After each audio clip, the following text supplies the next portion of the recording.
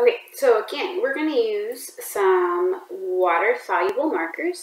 I pulled out quite a few colors um, that I found. Again, there are a variety of brands. It doesn't necessarily matter, okay? But they do need to be water-soluble. And then I got a piece of um, aluminum foil or tin foil, okay? And I just kind of, I folded it over so it was more than one thickness, okay?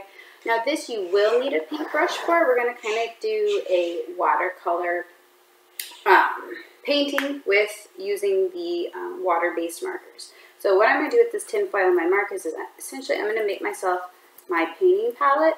I'm going to color the um, marker onto uh, my piece of tin foil.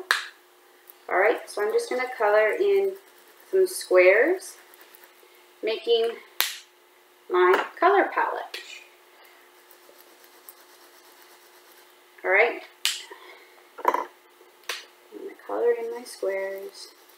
I don't know if you can see that pink or not. It's kind of light, but there is pink there. And then I have this a lighter blue, which does appear to show up a little bit better. And then I've got a lighter green. And then a darker blue.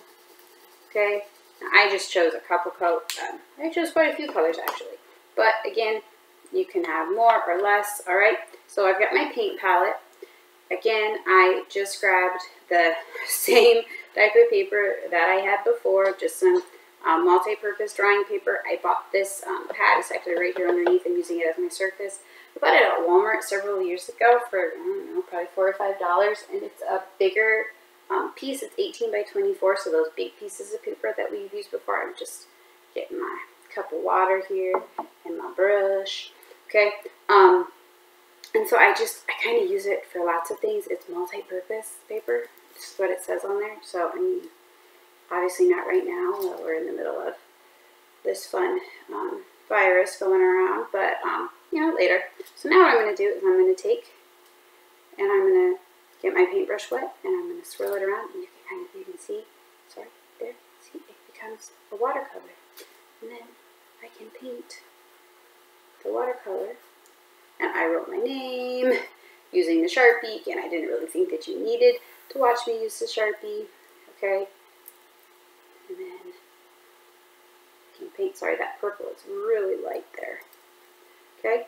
But I can paint. And the colors, hmm, I don't know. Let's see. Let's see if the colors will mix.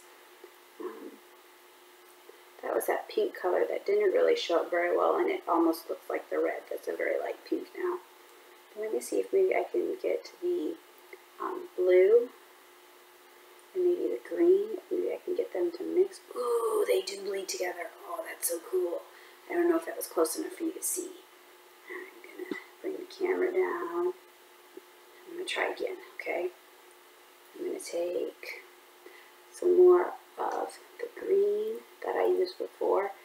I'm going to go right in there. Oh, it didn't do quite what it did before, but you can kind of see. Let me try the blue. Did you see, can you see that like spidering all over the place? It's kind of cool. Alright, so um, they, they work just like watercolors. Um, you can do a crayon resist with them. Sorry you didn't see all what I just did, which I really didn't do a whole lot. Um, you can do a crayon resist with them to um, have that. So if you've got like a white crayon at home, you can color, you can use any color crayon actually. The white just doesn't show up as you're on the white paper, but it works as a resist no matter what color you use, okay? So I'm to just paint, paint, paint, paint. Okay? So, you could paint whatever you wanted, alright? Again, I could make myself a little card here to send to uh, Grandma and Grandpa. I made myself a little sign here. Maybe you'll see it in the classroom, maybe you won't. Okay?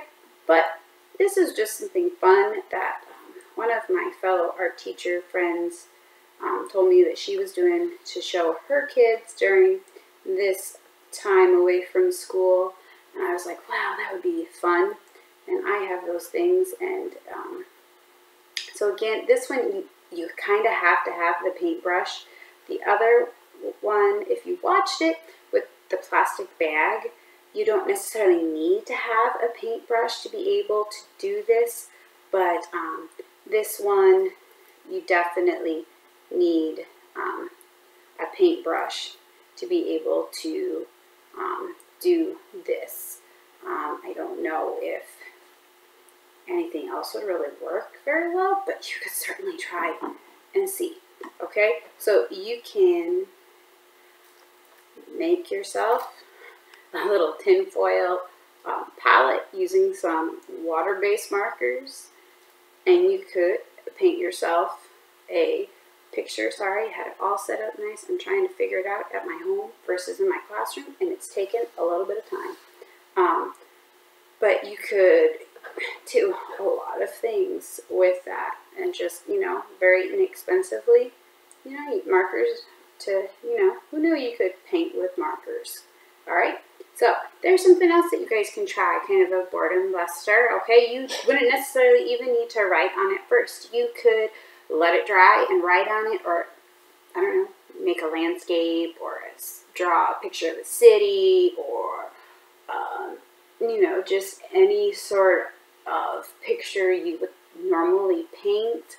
Um, or you could just do something completely abstract and just kind of go for it and see what comes out.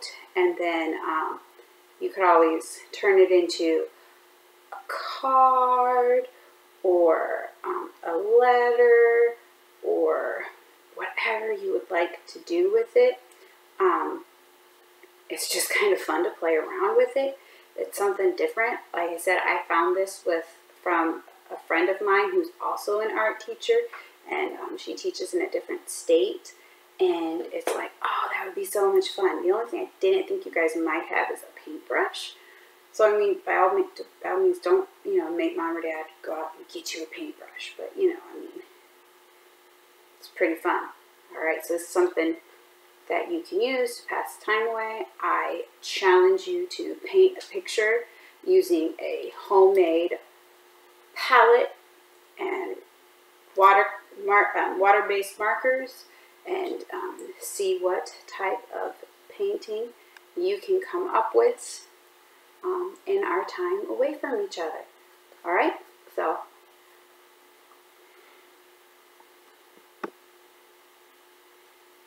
right, there's that one. All right, so there's two.